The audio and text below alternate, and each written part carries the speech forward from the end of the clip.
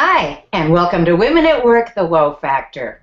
I'm your host, Mary Eileen Williams, and this show is all about connecting you with experts, tips, and strategies to help you make the most of this very special time of life. Karen Colligan is the founder of PeopleThink, and she's an expert on self assessment, coaching, and team development. Many people may not be familiar with the term of a self assessment or self assessment instrument. So, what basically is it?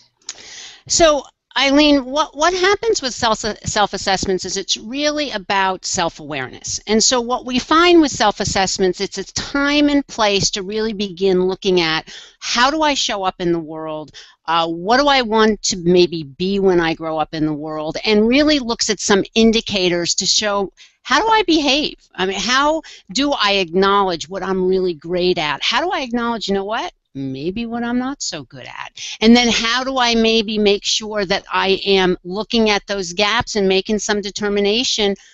Well, if I want to get to a certain place, how do I do that? I need to have some self awareness, and that's what our self assessments will do for us.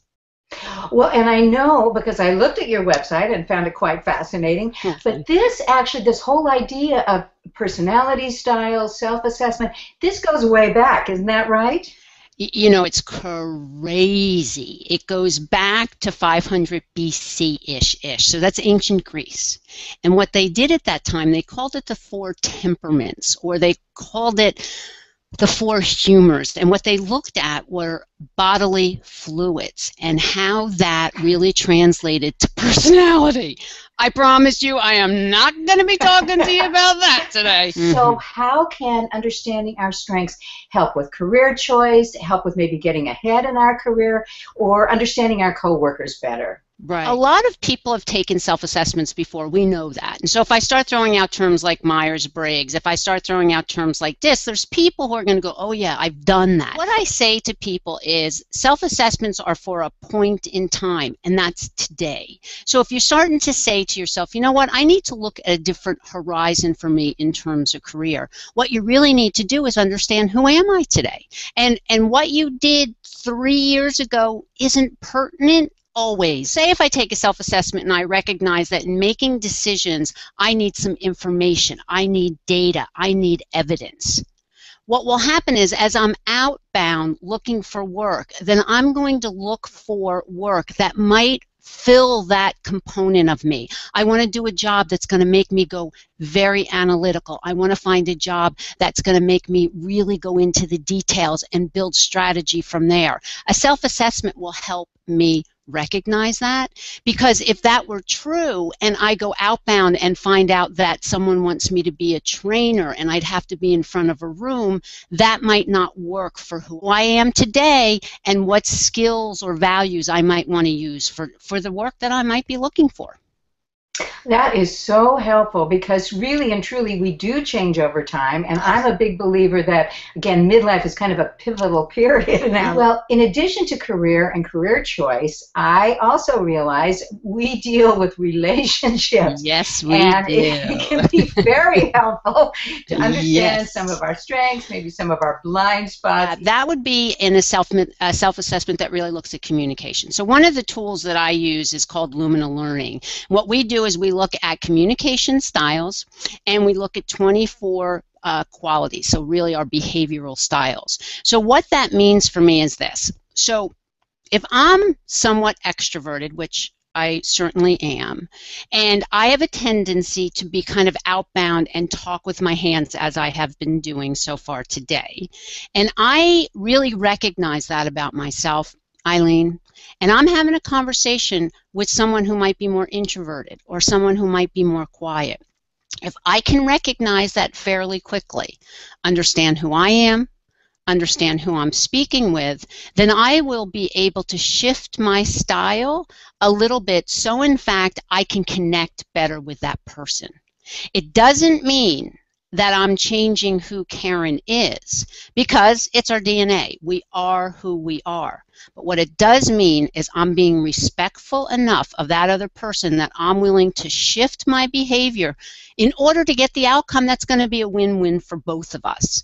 And so, in relationships, whether it is your partner, your spouse, your um, friend, your, your family members, your brothers and sisters, if we can recognize who they are and how they're showing up at that point in time, then we might be able to connect in a much stronger way. Oh, I love that too because that that connection with relationships is critical in all aspects of our lives. Absolutely. But one of the relationships I think that might be most critical to us again at midlife is our relationship with ourselves. So, what does uh, again self-assessment and particular the Lumina Spark that you use? How does that help us identify our strengths and weaknesses in a more personal way? What you want to be thinking about is what do you want to assess? Because believe me, if you go out on the internet, you can assess anything you like.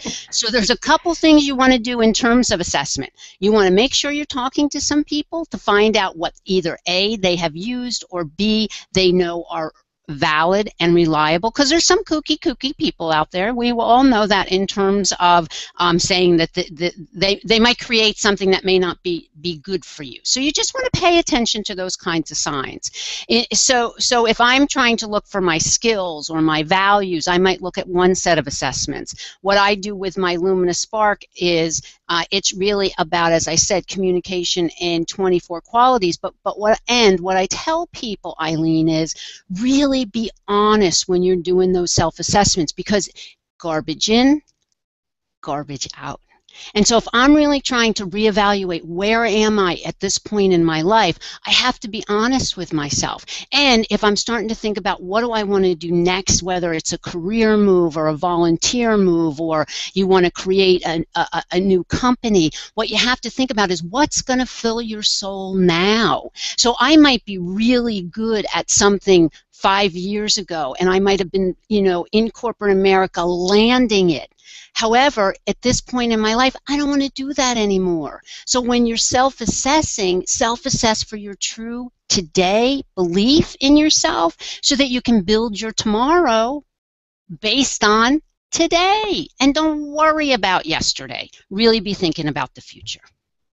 Oh, and Karen, I have to say, I love that phrase, fill your soul now. yeah.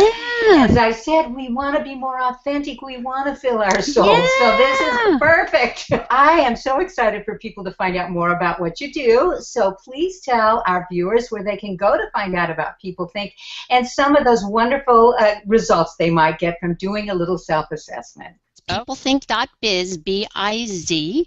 We've got tons of resources. So go to the resources page, check it out, all kinds of goodies for you. Karen, this has been wonderful. Thank you so much for sharing all your knowledge and your expertise about self-assessment with us. I really appreciate it, Eileen. And everybody go out there and take good, good care of yourself. Uh, and I always like to leave you with a little food for thought.